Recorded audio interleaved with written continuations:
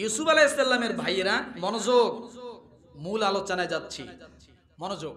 ইউসুফ আলাইসাল্লামের ভাইয়েরা যখন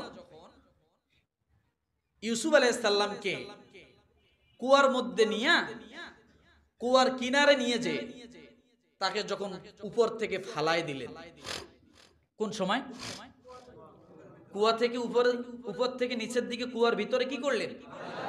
এই কুয়া কুয়া ছিল না, এই কুয়া ছিল মিশরের সিংহাসনের কি? সুরঙ্গ পথ।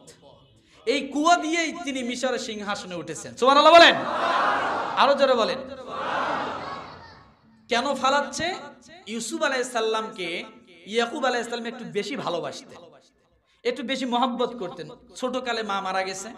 ইতিম, এই হিসেবে বাবা হিসেবে আরও একটু বেশি তার দিকে হক আদায় করতেন। মায়ের হক, বাবার হক, দুইটা মিলে বাবা একটু কি? বেশি তার দিকে নজর দিয়েছিলেন। ভাইদের এটা সহ্য হচ্ছিল না। সমাজে এরকম আছে না? আছে না এরকম? অফিস আদালতে আছে না? স্যারেরা, বসেরা যদি একটু কাউকে একটু ভালো নজরে, সুনজরে দেখে, একটু ভালো পায় তাই। অন্যদের আর সহ্য হয় না। তাকে খারাপ বানানোর জন্য সবাই উঠে পড়ে লাগে। চাকরি খাওয়ার জন্য উঠে পড়ে লাগে। আছে না নাই? আছে। বাকি ভাইদের তাদের আর ভালো লাগল না। তারা করল, একে দুনিয়া থেকে শেষ করে দেব। দেখি তখন আর কীভাবে মায়া করে, মহাব্বত করে। ইউসুফ আলাইসাল্লামের ভাইয়েরা কি করল?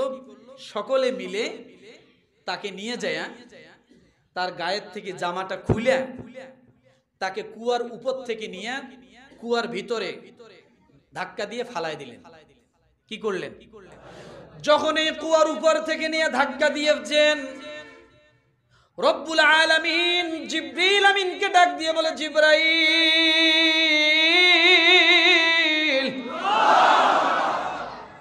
কুয়ার উপর থেকে দশ ভাই আমার নবী ইউসুফকে ফালায় দেয়। ওই কুয়ার ভিতরেও বিশাল বড় পাথর আছে। আমার নবী ইউসুফ যদি পাথরের মধ্যে পড়ে, মাথাটা ফেটে যাবে। তুমি এক্ষণে চলে যাও। আমার ইউসুফকে কুয়ার থেকে, আমার ইউসুফকে কোলের মধ্যে নিবা যাতে আমার ইউসুফ পাথরের মধ্যে না পড়ে, কারণ সেখানে ময়লা আছে, সেখানে পাথর আছে, পানি আছে, আমার ইউসুফের গায়ে যেন এক ফোঁটা পানি না লাগে। জিব্রাইল কোথায়? মাওয়া 4000 বছর রাস্তার ঊর্ধ্বে। আর কুয়ার থেকে কুয়ার নিচ কত দূর? বারো ফিট দশ ফিট কথা ঠিক কিনা? আল্লাহ বললেন, এই যে ফালাই দিছে, তুমি আর দেরি করো না। এক্ষণে তুমি এখান থেকে যে আমার ইউসুফকে কোলের মধ্যে নিবা। আরও আসতে বলেন। সঙ্গে সঙ্গে জিবরিল সালাম এত রিক্সে আসছেন, মাত্র বারো ফিটের পথ। কুয়ার মধ্যে পড়বে। আর চার হাজার বছরের রাস্তা অতিক্রম করে আসতে হবে কি রিক্স সঙ্গে সঙ্গে ইউসুফ আলাইসাল্লাম বারো ফিটের রাস্তা বা দশ ফিটের রাস্তা কুয়ার মধ্যে যাওয়ার আগেই জিবরিল আলাইহি সালাতু আসসালাম কুয়ার নিচ থেকে এইভাবে দুই হাত প্রসারিত করে দিয়েছে। আরও জোরে বলেন। কোলের মধ্যে নিয়ে বলে, ইউসুফ, সালাম আলাইকুম। ইউসুফ আলাইসাল্লাম তাকায় থেকে, বিশাল এক মানুষ। আপনি কে কুয়ার ভিতরে? বলে, আমি কে সেটা পরে, আমি না ধরলে তোমার মাথা ফেটে যেত। তো ডাক দিয়ে বলতেছি, ইউসুফ, তুমি এখানে কেন? কয়, ভাইরা আমাকে ফালাই দিছে। কয়, ভাইরা ফালাইলো কেন? কয়, আব্বা আমাকে একটু বেশি আদর করে, ভালোবাসে তাই। কয় বুঝলাম, তোমার গায়ের কাপড় সবর কই? তোমার গায়ে জামা কই? কয়, জামা তো নাই।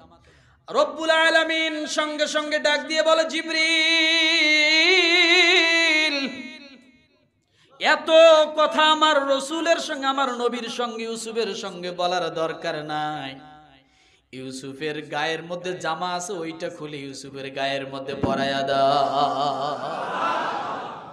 ইউসুফের গায়ের মধ্যে পরায়া দাও। জিব্রিল আলাইহিস সালাতু ওয়াসসালাম ডাক দিয়ে বলে, আল্লাহ, জামা কই? খালি গায়ে, আমার কোলে আমি নিজে দেখতেছি। জামা তো দেখি না।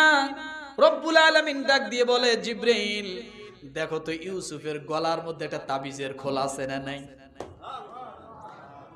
তাকায় দেখে তাবিজের খোল। রব্বুল আলামিনকে জিব্রাইল ডাক দিয়ে আল্লাহ, তাবিজের খোল তো দেখা যায়। রব্বুল আলামিন ডাক দিয়ে বলে, তাবিজের খোলটা খোলো। বলে, আল্লাহ, তাবিজের খোল খুললে কি হবে? কারণ সেখানে কাগজ থাকে।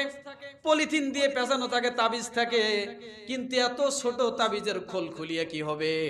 আল্লাহ তালা ডাক দিয়ে বলে, জিব্রাইল, দেরি করো না, তাড়াতাড়ি আমার ইউসুফকে জামাটা গায়ে দিয়া দাও। কয়, আল্লাহ, জামা কোথায়? কয়, তাবিজের খোলটা খোলো। তাবিজের খোল যখন খুললেন, খুলিয়ে দেখে সাদা ধবধবে একটা জামা। আরও আসতে বলেন, বাড়িতে যেয়ে বলিয়েন, তাবিজের খোলটা যখনই খুলেছে আল্লাহ তালা ডাক দিয়ে বলে, ও জিব্রাইল, এবার ওই কাপড়টা দেখছ কি? বলে হ্যাঁ আল্লাহ। বলে, টান দাও। কয়, টান দিলে একবারে আসবে। কয়, তোমার টান দাও দরকার, তুমি টান দাও। জিব্রাইল আলাইহিস সালাতু ওয়াস সালামকে যখন টান দিতে বললেন, আস্তে আস্তে যখন টান দেয়, যত টান দেয় তত জামা লম্বা হয়ে যায়। তাফসীর মাঝহারিতে আসছে কথাটা। জিবরিল আলাইহিস সালাতু ওয়াস সালাম আশ্চর্য হয়ে গেলে, জামা কোথায় পাইলো? তাবিজের ভিতর আসলো কেমনে? এ কথা আজকে অত বলব না। সামনের দিকে যাই। না না, সময় থাকবে না, আরও সামনে কথা আছে। রব্বুল আলামিন এই কুয়ায় ফালাই দিয়া ইউসুফ আলাইহিস সালামকে সিংহায় উঠায় দিলেন, সিংহাসন উঠায় দিলেন, কথা ঠিক কিনা? কেমন সিংহাসনে উঠায় দিলেন? মিশরের তিনি খাদ্য মন্ত্রী হয়ে গেলেন। মিশরের বাদশাহ তাকে খাদ্য মন্ত্রী বানাইলো। কি বানাইলো? খাদ্য মন্ত্রী বানাইলো গভীর খেয়াল। এখানে আল্লাহ একটা কথা বলেছেন, মারাত্মক। খাদ্য মন্ত্রী যখন হলো, চতুর্দিকে দুর্ভিক্ষ দেখা দিল। তিনি মিশরে আজিজকে বলেছিলেন, কীভাবে?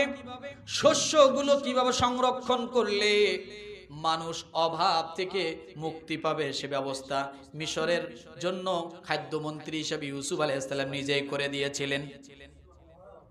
ইউসুফ আলাইসাল্লাম যখন খাদ্যমন্ত্রী হলেন ওই দেশের মধ্যে বৃক্ষ একেবারে দুর্ভিক্ষ লাগল।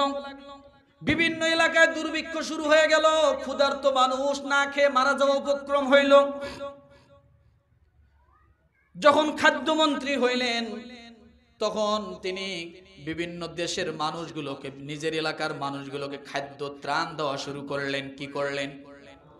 ত্রাণ দেওয়া শুরু করলেন। এক একদিন এক একজনকে কার্ড দেয়, স্লিপ দেয়, ত্রাণ দিবে আশপাশ দেশের লোক যদি আসে, তাদেরকেও দেয়। যদি কেউ লাইনে দাঁড়ায়, তাদেরকেও দেয়। ও মুসলমান, ওই লাইনের মধ্যে একটা যুবক দাঁড়িয়ে গেলেন।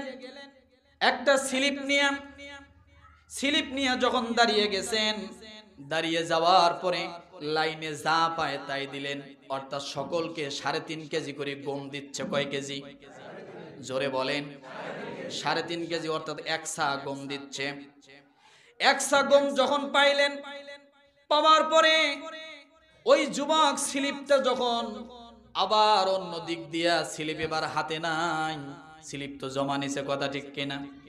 মানুষ একবার করে খাবার নিতে পারতেছে না, এত অভাব সে দেশের মধ্যে। কিন্তু যুবকটা ওই স্লিপ তো জমা দিয়ে দিছেন।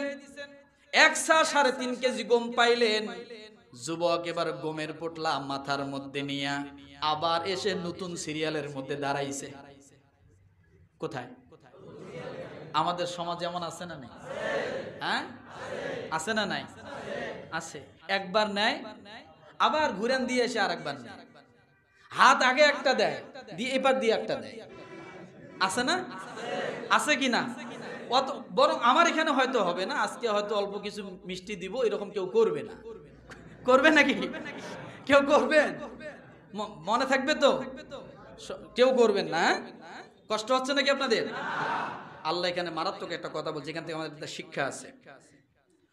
ওই যুবক যখন আবার নতুন সিরিয়ালে দাঁড়াইছেন, সিরিয়ালের লোকজন সকলেই মাথা গরম হয়ে গেছে। একটু আগে না তুমি নিলা? আবার এখানে ওই পোটলা নিয়ে আবার দাঁড়াইছে। পোটলা যে রাইখে আসবে তার করে নাই। ওই পূর্বের পোটলা মাথায় নিয়েই আবার কি করছে? সিরিয়ালের মধ্যে দাঁড়াইছে।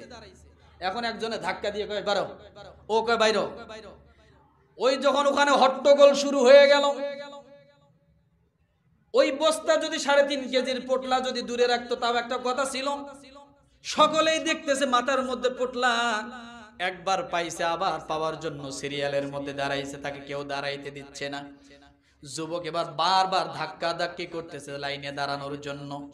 যখন বিশাল হট্টগোল বেজে গেল, এবার ইউসুফ আলাইসাল্লামের কাছে বিচার চলে গেল। এই যুবক এর পূর্বে একবার সিরিয়ালের মধ্যে নিয়েছে, আবার দেখেন মাথার মধ্যে সেই পোটলা নিয়ে আবার সিরিয়ালে দাঁড়াইছে। যুবককে যখন ডাক দেওয়া হলো, যুবক, এদিকে আসো। তুমি না একবার পাইছো, আবার কেন তুমি দাঁড়াইছো? হট্টগোল বাজাইছো কেন? এই লোকগুলাকে কি জবাব দিব আমি? যুবক এবার ইউসুফ ডাক দিয়ে বলে, নবী ইউসুফ, আমি জোরে বলব না, আস্তে বলব, আমি একটু আপনার কানে কানে বলতে চাই। ইউসুফ আলাইহিস সালাম আশ্চর্য হয়ে গেলেন, মারাত্মক কথা, কানে কি বলবা? ডাক দিয়ে বলে, ইউসুফ, নবী গো, এই যে আমার মাথার মধ্যে পোটলা দেখেন এটা আপনি আমার দেশের লোক এবং ভিনদেশী সকলের জন্য সাধারণভাবে যে দাঁড়াচ্ছে তাকে দিচ্ছেন। কথা ঠিক কিনা? কিন্তু আমি যে এখন দাঁড়িয়েছি, আমি আপনার দেশের নাগরিক, আমি আপনাকে ভোট দেই, নাগরিক হিসেবে আমি পাই। আগের যে পাওনা ছিল সেটা হলো সাধারণ লোক হিসেবে। অন্য দেশের লোকজন দাঁড়াইছে, আপনি দিয়েছেন, এবার আপনি দাঁড়িয়েছি আমি আপনার দেশের নাগরিক এই জন্য দাঁড়িয়েছি। বলেন, আমি আপনার কাছে পাওয়ার হক কিনা? কথাটা বোঝেন নাই? আগে যে কেউ দাঁড়াইলে কি? দিছেন। এখন যে আমি দাঁড়াইছি পটলা আমার মাথায় দেখে আপনার মাথা গরম, আমি আপনাকে ভোট দেই নাই? এমন বলে না কিছু লোক? মেম্বার সাহেব কি, আমার বাড়ির কালপাটটা করে দেন নাকি? আমি বাড়ি ঢুকতে পারি না। দেখা পাইলেই মেম্বারে ধরে। কিছু না কিছু চায় কথা ঠিক না? হ্যাঁ আর একবার ভোট নিতে আইসেন দিব। কথা ঠিক কিনা কত কথা। ইউসুফ আলাইহিস সালাম খাদ্য কর্মচারীদেরকে ডাক দিয়ে বললেন ও খাদ্য কর্মচারী এই ব্যক্তিকে আবার আর একশা গম দিয়ে দাও। একশা গম পরিমাণ কত? এটা মনে রেখেন। সাড়ে তিন কেজি দিয়ে দাও। এবার দুই পুটলা হয়েছে। আবার ঘুরান দিয়ে এসে পিছনে সিরিয়ালের মধ্যে আবার দাঁড়াইছে। এইবার সকলে পিছন দিকে দেখে দুই পোটলা নিয়ে দাঁড়ানো। এবার সকলেই সিরিয়ালকে লম্বা করতে লাগল। একবারে জানে পিছনের দিকে যে ও যেন আর খুঁজে না পায়। এদিকে যেন তেরান সব শেষ হয়ে যায় সামনে আসতে আসতে। কিন্তু অনেকের মধ্যে এর মধ্যে হট্টগোল বাজানোর লোক আছে না নাই? ওকে আবার যায় ধরছে, লাইন ভাঙ্গে যায় ধরছে। দাঁড়াইলি কেন? দুই পুটলা তোর মাথায় দুই বের পাইছস, আবার দাঁড়াইছস কেন? এদিকে ধাক্কা দিয়ে ফালায় দেয়, ওদিকে ধাক্কা দিয়ে ফালায় দেয়, আবার পুটলা মাথায় নিয়ে আবার দাঁড়ায় যায়। আবার বিশাল হট্টগোল শুরু হয়ে গেছে। সকলেই মিলে ধরে আবার ইউসুফ আলাইহিস সালাতু ওয়াসসালামের কাছে নিয়ে গেছে। নবী ইউসুফ গো, এর একটা ব্যবস্থা করেন নাহলে এর খতম করে ফেলব কথা ঠিক কি না? এর একটা ব্যবস্থা করেন নাহলে অবস্থা খারাপ আছে কিন্তু। দেখেন, দুই পুটলা মাথায়, দুই বের নিচে। ও আবার কোন সাহসে আবার দাঁড়াইছে? ইউসুফ ওয়াসসালাম আশ্চর্য হয়ে গেলেন। কথা তো বাস্তব। তোমার মাথায় দুইটা, তুমি দুইবার স্লিপ পেয়েছ। দুই পুটলা তুমি নিয়ে আবার তুমি দাঁড়িয়েছো। এই লোকগুলাকে তুমি হট্টগোল বাদাইছো কেন এইগুলা করলা? তোমাকে না বলছি আর তুমি দাঁড়াইবা না। বলে, ইউসুফ নবী গো, আর একটা বার দেন। কি করেন? বলে, আর তোমাকে দেওয়া যাবে না। এবার যুবক ডাক দিয়ে বলে, নবী ইউসুফ, কানে কান কানটা একটু আমার কাছে দেন, আমি আর একটা বলি। একটা কথা বলি, দেখেন আমি পাওয়ার হক কিনা? ইউসুফ আলাইহিস সালাতু ওয়াসসালাম এবার কান যুবকের মুখের দিকে দিছে। ডাক দিয়ে বলে, নবী ইউসুফ গো, আপনি এখন খাদ্যমন্ত্রী। আমি আপনাকে বলে যাচ্ছি, কিছুদিন পরে আপনি হবেন নবী। আমি, আপনি যদি নবী হন, আর আপনার উম্মত হিসেবে আমি কি আপনার কাছে পাওয়ার হকদার কিনা? আরও জোরে আরও জোরে আরও জোরে আরও জোরে। আপনি কিছুদিন পরে নবী হবেন। আর আমি দেশের নাগরিক, আমি যদি আপনার উম্মত হই, আর উম্মত হয়ে কি আমাকে নিরাশ করবেন? হ্যাঁ? এটা তো কোনো নবীদের শান নয়। কোন নবীদের শান নয়। আল্লাহ নবী সাল্লাহ সাল্লামকে এক মহিলা জুমার নামাজ পড়ার জন্য খুব সুন্দর একটা জামা দিয়েছিলেন। কে দিলেন জামাটা? মহিলা। পুরুষদের থেকে মহিলারা কিন্তু দানের দিকে একটু বেশি। কথা ঠিক কিনা? যখনই রসুল জামাটা গায়ে দিয়ে বাহিরের দিকে আসছে, খুব ভালো লাগতেছে। রসুল খুব খুশি। এইটা গায়ে দিয়ে বিভিন্ন রাজা বাদশাদের সামনে যাইব। পছন্দ হয়েছে। মহিলা মানুষ খুব সুন্দর যত্ন করে দিছে। যখন ওই গায়ে দিয়ে সামনে আসছে, এক সাহাবি ডাক দিয়ে বলে, ইয়া রাসূলুল্লাহ, খুব ভালো লাগতেছে আপনাকে দেখতে। যদি আমার গায়ে হইতো, মনে হয় খুব সুন্দর মানাইতো। কি বলছে? যদি আমি গায়ে দিতাম, তাহলে আমাকেও খুব সুন্দর মানাইতো। আল্লাহ রসুল সঙ্গে সঙ্গে ওই জামাটা খোলা শুরু করে দিছে। আর এক সাহাবি তারা ধাক্কা দিয়ে ফালাই দিয়ে কয় তুমি আর জায়গা পালে না। রসুল কেবল ঘর থেকে বাইরে হইয়া আসছে, রসুলের মনটা একটু ফুর্তি, ভালো একটা জামা গায়ে দিলে মনটা একটু ভালো লাগে না? মনটা একটু ভালো। আর তুমি একটা কথা খোসায় ঢুকাই দিলা যে এই জামাটা আমি গায়ে দিলে মানে আমার ভালো লাগতো। আল্লাহ নবী বললেন, আমি তোমাকে জামা দিব। যখন সাহাবাই কেরাম ধরে বসলেন, তোমার কত বড় সাহস। তুমি রসুলের গায়ের জামা চাও। এই কথা যখন বলেছেন, ওই সাহাবি চোখের পানি টপ টপ করে ছেড়ে দিয়ে ডাক দিয়ে বলি রসুল্লাহ আপনি বেয়াদবি ক্ষমা করবেন। ও আমার সাহাবি ভাইরা, আপনারা বেয়াদবি ক্ষমা করবেন। আমি রসুলের কাছে এই জামা আজকে চাই না। এই জামা আমি আজকে চাই না। রসুল যেদিন পড়তে পড়তে জামাটা পুরান হয়ে যাবে। জামাটা যখন ফেলে দেওয়ার মতো উপক্রম হয়ে যাবে, সেই দিন যেন রসুল এই জামাটা আমাকে দেয়। সাহাবাই কেরাম বলে, তুমি এই জামা দিয়ে কি করবা? ও আমার সাহাবিরা, তোমরা শোনো, আমার ভাইরা শোনো, আমার মনটা কেন জানি চাইছে? রসুলের এই জামাটা গায়ে দিয়ে আমি কবরে শুয়া থাকতে চাই। আমি কবরে কাপন হিসেবে ব্যবহার করতে চাই। রসুলের গায়ের জামা।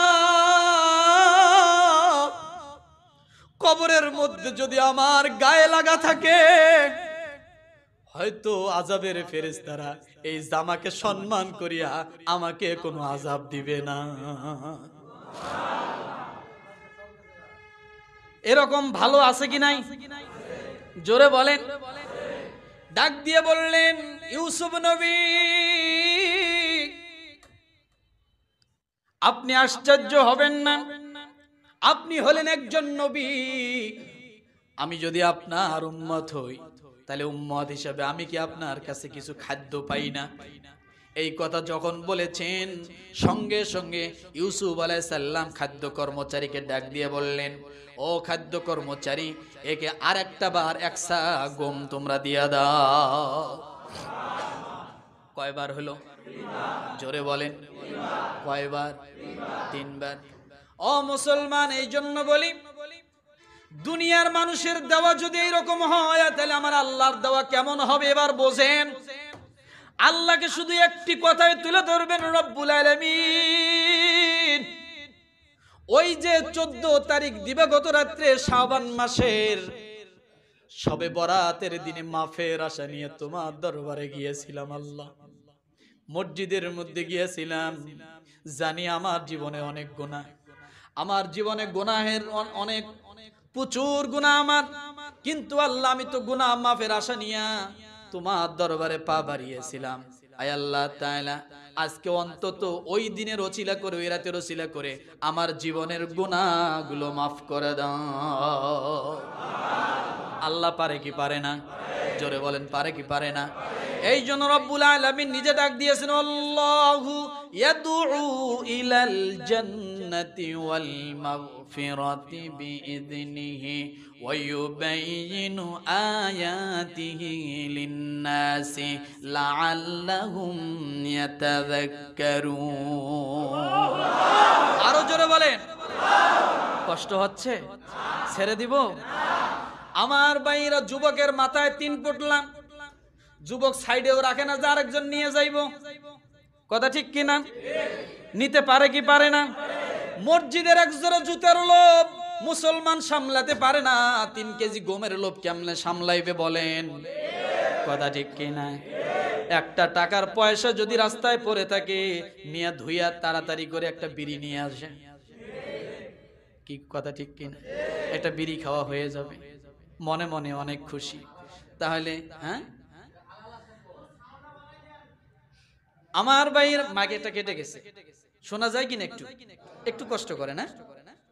আমার ভাইয়েরা তিনটে পুটলা নিয়ে যুবক, আবার কিছু দূর ঘোরার পরে আবার সিরিয়ালের মধ্যে দাঁড়ায় গেছে।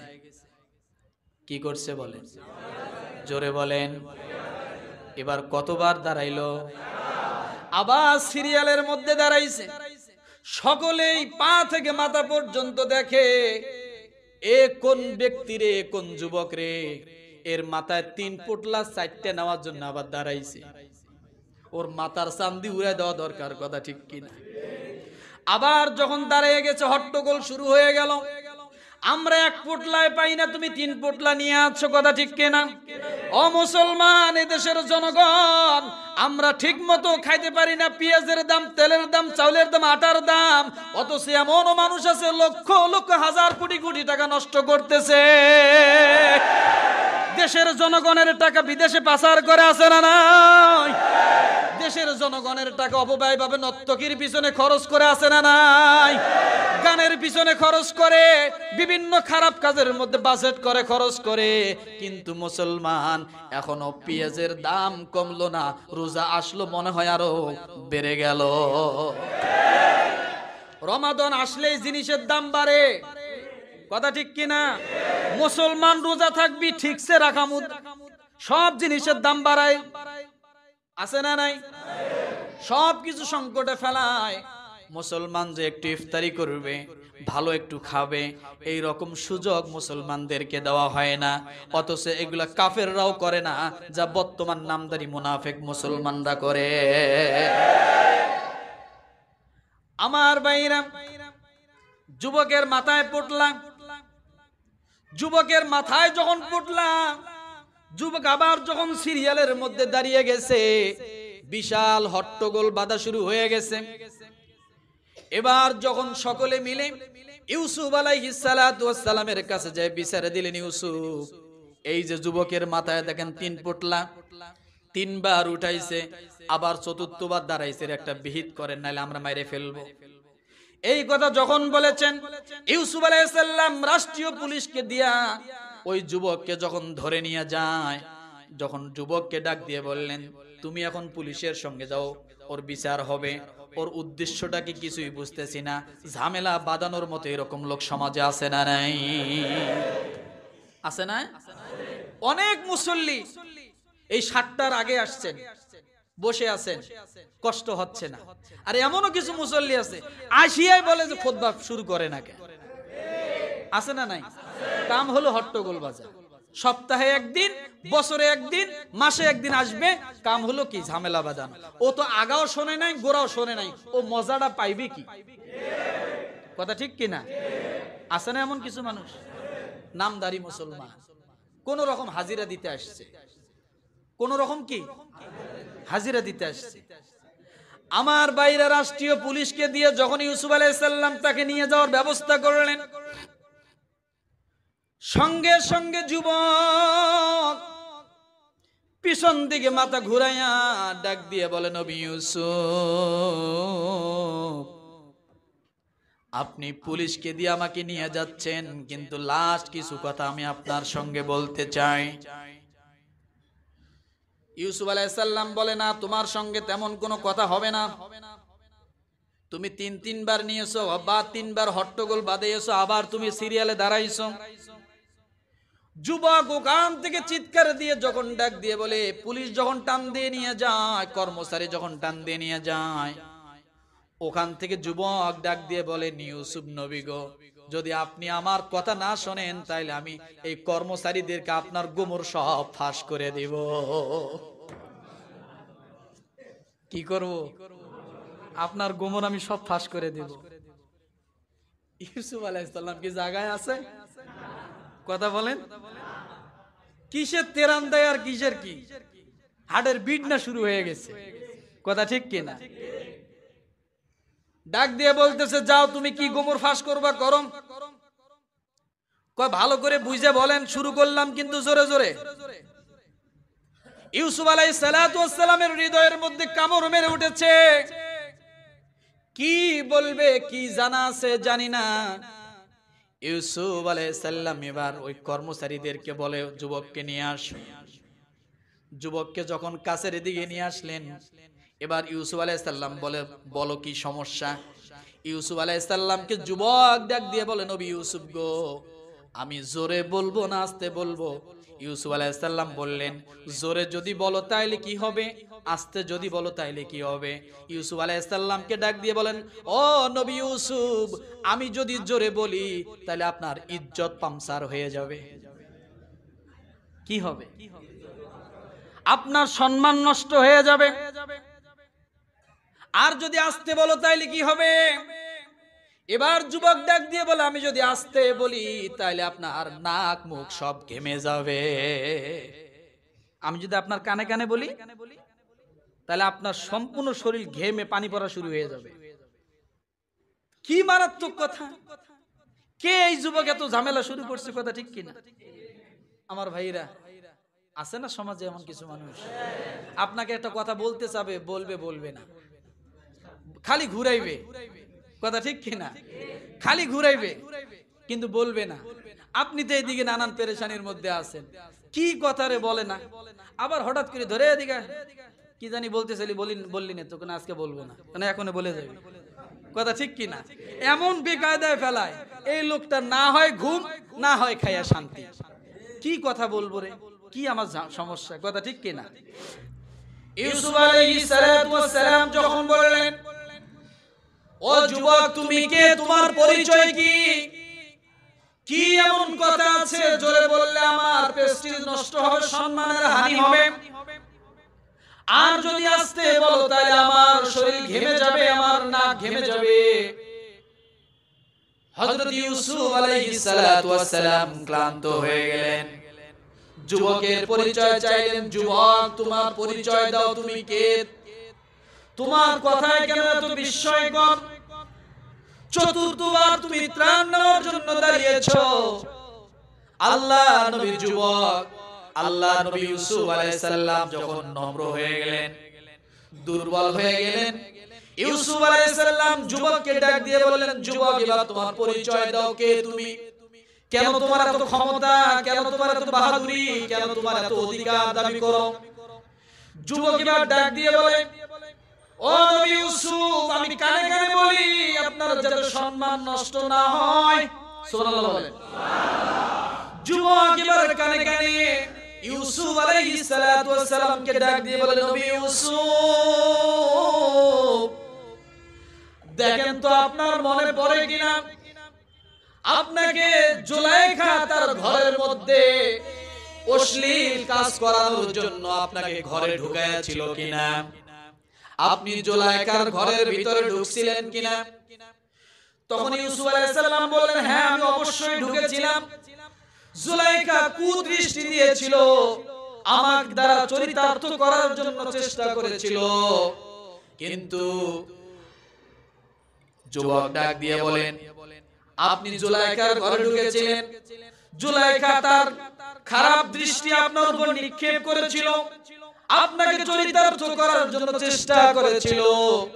কিন্তু জুলাইকা যখন জুলাইখা থেকে আপনি পলায়ন করার জন্য দৌড় দিয়েছিলেন তখন জুলাইখা পিছন দিক থেকে আপনার পাঞ্জাবি ধরেছিল। সঙ্গে সঙ্গে পাঞ্জাবি ছিঁড়েছিল। আপনি যখন দৌড় দিলেন, সঙ্গে সঙ্গে জুলাইখার রুমের ঘরের যতগুলো দরজার তালা ছিল, সমস্ত তালাগুলো ঝুলে ঝুলে পড়ে গেল। আরও আসতে বলেন, ইউসুফ আলাইহিস সালাম আশ্চর্য হয়ে গেল, যুবক, তুমি ঘরের ভিতরে সব খবর জানো তুমি কে? ইউসুফ আলাইহিস সালামকে যুবক ডাক দিয়ে বলেন, ওই যে জুলাইখা আপনার পিছনে ধাওয়া করল, যখন আপনার জন্য দরজা সব তালা খুলে গেল, আর সামনে মিশরে আজিজ মিশরের বাদশা যখন সামনে পড়ে গেল, তখন জোলাইকা কি বলবে তার স্বামীর কাছে? ডাক দিয়ে বললেন, ও স্বামী, ইউসুফ নবী আমার চরিতার্থ নষ্ট করার জন্য সম্ভ্রম নষ্ট করার জন্য আমার ঘরের ভিতরে প্রবেশ করেছিল। আপনি তার বিচার করেন। যখন তার কাছে বিচার চেয়েছিল, তখন আপনার কোনো সাক্ষী ছিল না। আপনাকে বিচারের দাঁড় করানো হলো। বিচারের যখন আপনি দাঁড়িয়ে গেলেন, আপনার নামে কোনো সাক্ষী নাই। তখন আপনার পক্ষে কথা বলার কেউ নাই। তখন একটা বাচ্চা দোলনার মধ্যে থেকে চিৎকার দিয়ে আজিজি মিশরকে ডাক দিয়ে বলেছিল, ও আজিজি মিশর, আমি একটা ফায়সালা করে দিতে চাই সেটা হলো যদি ইউসুফ আলাইহিস সালাম দোষী হয়, তাহলে তার জামার সামনটা ছিঁড়া থাকবে। আর যদি নির্দোষ হয়, আর জুলাইখা যদি দোষী হয়, তাহলে ইউসুফ আলাইহিস সালামের জামার পিছনটা ছিঁড়া থাকবে। এবার আপনি দেখেন ইউসুফ আলাইহিস সালামের জামার পিছন ছিঁড়া না, সামন ছিঁড়া দেখেন যে ইউসুফ আলাইহিস সালামের পিছনটা ছিঁড়া পিছনের জামা ছিঁড়ে গেছে। ওই দোলনা বাচ্চা, ছয় মাসের বাচ্চা দোলনা থেকে যখন সাক্ষী দিল, তখন ইউসুফ আলাইহিস সালামকে সেখান থেকে রক্ষা পেয়ে গেল। আজিজ মিশরের শাস্তি থেকে রক্ষা পেয়ে গেল। যুবক এবার ডাক দিয়ে বলে, ও নবী ইউসুফ আপনি ভালো করে জানেন, ওই দোলনা শিশু, বাচ্চাটা, সেই যুবকটা হলাম, সেই বাচ্চাটা হলাম আমি। আমি অন্য কেউ নয়, আমি হলাম সেই যুবক। আপনার ঘরের ভিতরের খবর জানি। এবার বলেন, আপনার পবিত্রতার ঘোষণা আমি সেদিন দিয়েছিলাম একবার। কয়বার? আমি বলেছিলাম, ইউসুফ পবিত্র। যদি বিশ্বাস না হয় তার জামা দেখেন জুলাইকা পিছন দিক থেকে টেনে নিয়েছিল তাকে খারাপ কাজ করার জন্য। যার কারণে পিছনের জামা ছেঁড়া আমি এই পবিত্রতার ঘোষণা আপনার জন্য দিয়েছিলাম। এবার বলেন আমি আপনার কাছে এর থেকে আরও বেশি পাওয়ার যোগ্য কিনা। যখন এই কথা বলেছেন, সঙ্গে সঙ্গে ইউসুফ আলাইহিস সালাম তার খাদ্য কর্মচারীকে ডাক দিয়ে বলেন, ও খাদ্য কর্মচারী, আর দেরি করো না, এক্ষণে সঙ্গে সঙ্গে এই যুবকের জন্য 100 ইরদাব গম তার জন্য আমি বরাদ্দ করে দিলাম। 100 ইরদাব গম তার জন্য তোমরা দিয়া দাও। কয়শো ইরদাব কয়শো ইরদাব 100 ইরদাব এই 100 ইরদাব কাকে বলে জানেন? এক ইরদা পরিমাণ হলো এমন একটা পাত্র যেখানে চোদ্দ সা গম একবারে ঢোকে। চোদ্দ সা, এক সা গমের পরিমাণ কত? তাহলে এক ওই রকম একশো ইরদাম অর্থাৎ এক এই পরিমাণ যে এক ইরদা হলো চোদ্দ সা গম। এক সা পরিমাণ হলো সাড়ে তিন কেজি, এক ইরদা পরিমাণ হলো চোদ্দ সা উনপঞ্চাশ কেজি। এক ইরদার পরিমাণ কত? এইরকম একশো ইরদাম এরপরে একশো ইরদার পরিমাণ হলো চার হাজার নয়শো কেজি। চার হাজার নয়শো কেজি, একশো ইরদার পরিমাণ। আর চার হাজার নয়শো কেজি কত মন হয়? একশো বিশ মন হয়। কত মন? কত মন? একশো বিশ মন গম এক্ষণে যুবককে দিয়ে দাও। যখন এই কথা বলেছেন, সঙ্গে সঙ্গে আল্লাহ জিবরিল পাঠিয়ে দিলেন, সুবহানাল্লাহ। ইউসুফ আলাইহিস ডাক দিয়ে বলেন, নবী ইউসুফ, এমন একজন যুবক একবার তোমার পবিত্রতার ঘোষণা দেওয়ার কারণে, যার জন্য তুমি একশত বিশ মন গম যার জন্য তুমি দিয়ে দিলা। একবার মাত্র তোমার পবিত্রতার ঘোষণা দিয়েছে। ইউসুফ রে, এবার তুমি ভালো করে জানো যে যুবকটা বালেগ হওয়ার পরে আমি আল্লাহর জন্য সিজদায় পড়ে বলে, সুবহান রাব্বিয়াল আলা। সুবহান রাব্বিয়াল আলা, সুবহান রাব্বিয়াল আলা, সুবহান রাব্বিয়াল আযীম সুবহান রাব্বিয়াল আযীম যুবকটা বালে হওয়ার পর থেকে মৃত্যুর আগ পর্যন্ত যুবকটা লক্ষ লক্ষ, কোটি কোটি, হাজার বার আমি আল্লাহর পবিত্রতার ঘোষণা দেয়। এবার ইউসুফ বল ওই বান্দার জন্য আমি আল্লাহর কত কি দিতে পারি? আরও জোরে আরও জোরে আরও জোরে। একবার যদি তোমার পবিত্রতার ঘোষণা দেয় একশো বিশ মন পাইলো আমি আল্লাহর পবিত্রতার ঘোষণা যে বান্দা বারবার দেয় বারবার দেয়, জীবনে অগণিত বার দিল, ওই বান্দার জন্য আমি আল্লাহ কি পরিমাণ রেখেছি? বা তুমি একটু চিন্তা করে দেখো। সুবহানাল্লাহ, আলহামদুলিল্লাহ, লা ইলাহা ইল্লাল্লাহ, সুবহানাল্লাহ। আলহামদুলিল্লাহ, লা ইলাহা ইল্লাল্লাহ, লা ইলাহা ইল্লাল্লাহ মুহাম্মাদুর রাসূলুল্লাহ। তাহলে আমরা আমলগুলো করব তো আজকে থেকে ইনশাআল্লাহ। একটা বার বোঝেন, একবার পবিত্রতার ঘোষণা দিয়েছে, একশো ইরদাব একশো বিশ মন দিয়েছে, আল্লাহ বলে, ইউসুফ! তাহলে আমার বান্দা যদি আমার পবিত্রতার ঘোষণা জীবনে কত দিল তাহলে আমি আমার বান্দার জন্য কি রাখছি একটা বার ভাবো। কথা ঠিক কিনা? আমরা সেটা নিতে রাজি আছি?